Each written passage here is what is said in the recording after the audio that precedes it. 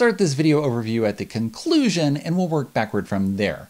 Gabriel Bubola's Merchants of Dunhuang from Mandoo Games is a fantastically well-designed card game for two to four players that does exactly what I think the designer set out to do. Make a rules-light game that plays relatively quickly, in which players are collecting stocks and bluffing simultaneously while they're being pulled in separate directions both by the actions of other players and their desire to reach one of the two endgame goals. The game won't be for everyone, of course. What game is? But if you are looking for something along those lines, let me explain how this works. Here are the components of Merchants of Dunhuang set up and almost ready to play.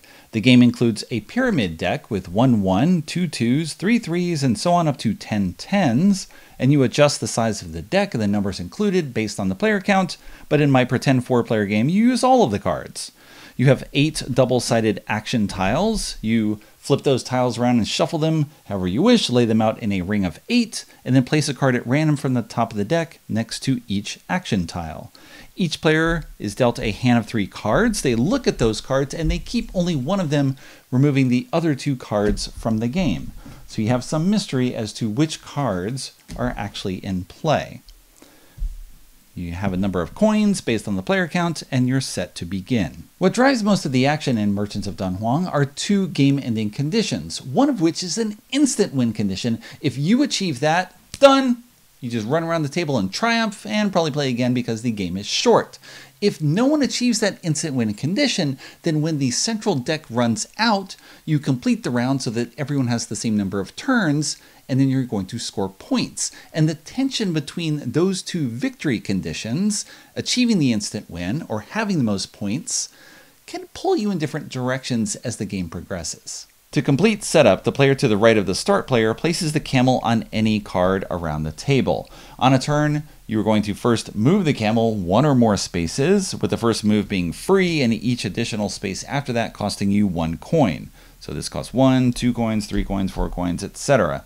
So if I stop here, I pay one coin.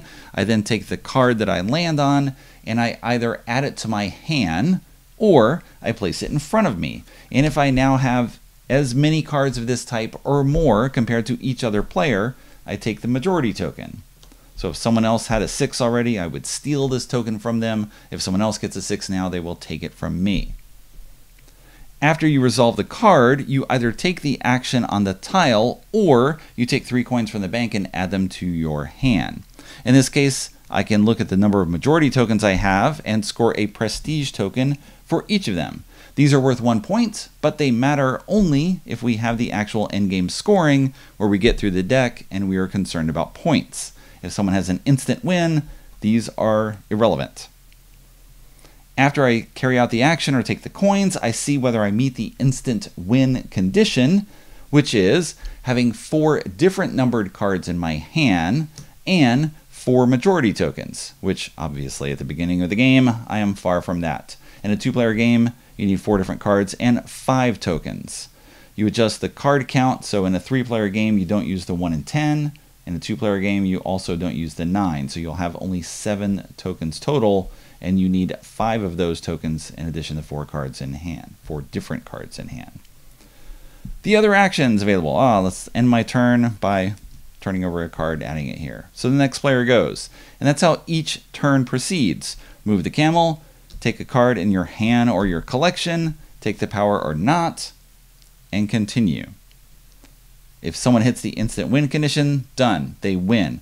Otherwise, you're going to score points at the end of the game. Now, some of the other actions available to you, well, in this case, you can take a card from your display and add it to your hand, or go vice versa, from your hand to the display.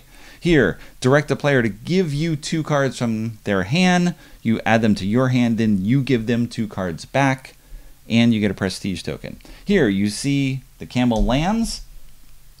I can take any card on display here and swap it with a card in my personal display. If I got rid of my six, well now I don't have majority in sixes, so I'd have to hand this back in. In the early game, some of these powers don't do much, but as you start adding more cards to your collection and to your hand, they become much more important. In this case, I discard a card from my hand from the game, and I score three prestige tokens. In this one, I flip over a majority token, and now if someone ties me, instead of stealing the token, I just flip it back.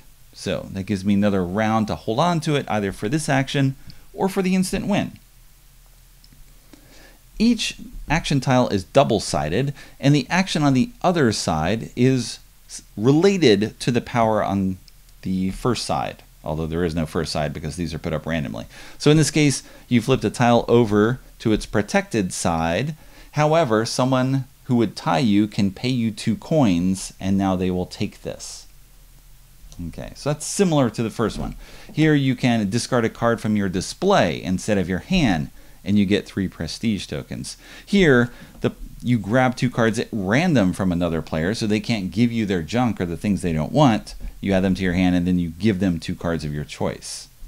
So everything is kind of related to one another. Here, you are going to count how many spaces you move the camel. So if I go from here, one, two, three, four, I would draw four cards, add one of them of my choice to my hand, and then put the other ones on the bottom. On the other side, I'm just drawing two cards, keeping one, putting the other on the bottom. So everything is related. It's a lot to take in at first, but the powers are very straightforward, and after one game, usually you're all set. You start with a single card, which seems like almost nothing, and the initial turns seem fairly irrelevant because, sure, I get a card in front of me, I have the majority, and then it's just stolen away by someone else a turn later. But the turns are very quick, and you are soon at the point where someone has multiple majorities and you are worried about them hitting the instant win condition. They've got three majorities. What cards are on the table? How many coins do they have? What can they put down? Oh, wait, they have only two cards in hand. They definitely can't have four different numbers. I don't have to worry about that yet but at some point it becomes a threat. Or this person has six cards in their hand. What actions are available to them so they can drop cards and possibly gain majorities immediately based on what they play? What's available to people? You quickly hit this point where everyone seems like they're on the verge of winning, and you have to be stealing things and watching out and seeing what flips. And the pyramid nature of the deck becomes very important. How many threes have we seen? How many fours? How many five? You want to keep track of such things, although, of course, some cards were removed at the beginning of play. You saw two of those cards that were removed, but you don't know what else left the game. What other majorities are available that people can take? How definite are the majorities that you have? Now, if you don't hit the instant win condition, you play through the deck. Everyone has the same number of turns, and then you score. And when you score, any majority token you have is worth two points. All the prestige tokens are one point each. Coins are irrelevant, except as a tiebreaker.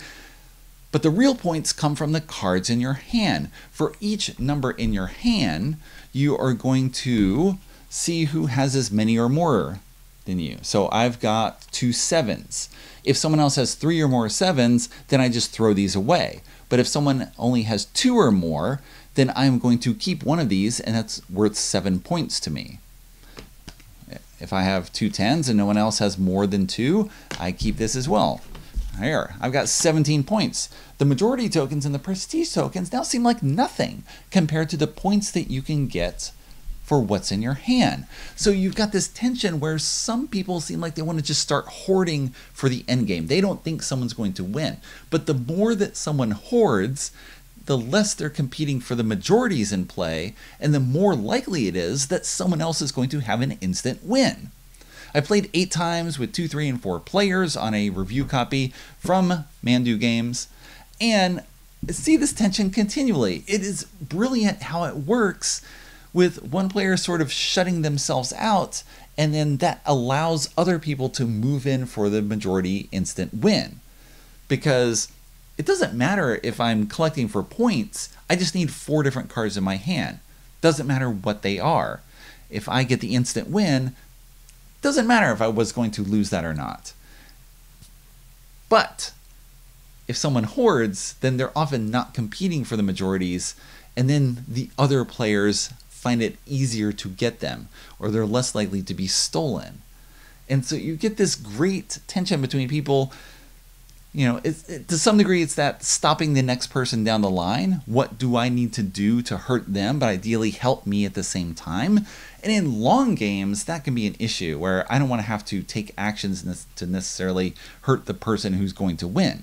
But this game often plays out in 15 to 20 minutes, and for that time frame, this is a perfect dynamic where everyone's sort of responsible for what comes next, but at the same time, you are putting the knife to someone else by the cards you collect and threatening to win, or working towards majority. And this has worked in both the two and the three and the four player game, where you just have more cards in play with four players, so there's more majority tokens to fight over. But again, as people hoard things, some stuff just goes away. You have the one, which is great because no one can take that from you if you put that on the table as a majority token. With the two, well, maybe you threw out a two and now you've got the one there that's that's locked in. You could keep the two in your hand, but again, that's worth only two points. Whereas on the table, it's now threatening or helping you win without someone being able to take that away, unlike the 7, 8, 9, 10s. So it's a great tension that plays out very quickly and the first game takes a little bit because you're confronted with the eight icons. You have no idea what's good. You don't know the flow of the game. You just do stuff at random. And then immediately we finish and we're just like, we got to play this again. And we take the action tiles, you shuffle them all up, lay them out again, and start over. They're very straightforward once you get that first game out of the way and you see now how things work. And the arc of the game as people build things over time and you start having to worry about who's doing what when, who's on the edge of winning. Oh, I see you've picked up three nines already. I know that you're sort of just stepping out, possibly. You're worrying about that end game scoring. Can I make it so that those nines don't matter? Or I can use powers to possibly take cards from you or flip things around or do something so that ideally I can at least tie you there's lots of great simple things going on in this very small design. Maybe you'll get a chance to play it sometime. Merchants of Don Dunhuang by Gabriel Bubola. Awesome job.